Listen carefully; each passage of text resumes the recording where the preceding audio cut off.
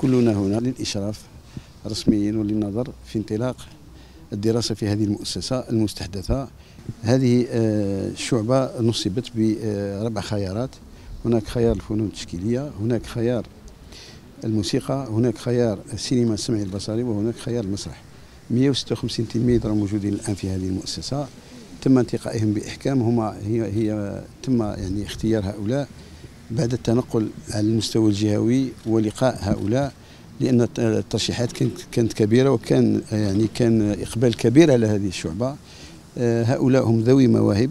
تم يعني هذه المواهب التي يراد صقلها ويعني تفعيل مواهبها خدمة للفن في الجزائر خدمة للاقتصاد خدمة لكل مناحي الحياة الفنية للمجتمع الجزائري. حقيقة هذا المشروع حتى يرى النور كان فيه عمل حديث بمعية وزارة التربية الوطنية من أجل وضع وضبط برنامج تكويني وبيداغوجي يرقى إلى مصاف مدرسة نخبوية في الفنون من خلال الجانب التنظيري ولكن أيضا الجانب التطبيقي الذي يشرف على تأطيره الأساتذة مختصون ومنهم أساتذة من التعليم العالي يعني التابعين للمؤسسات تحت وصاية وزارة الثقافة والفنون.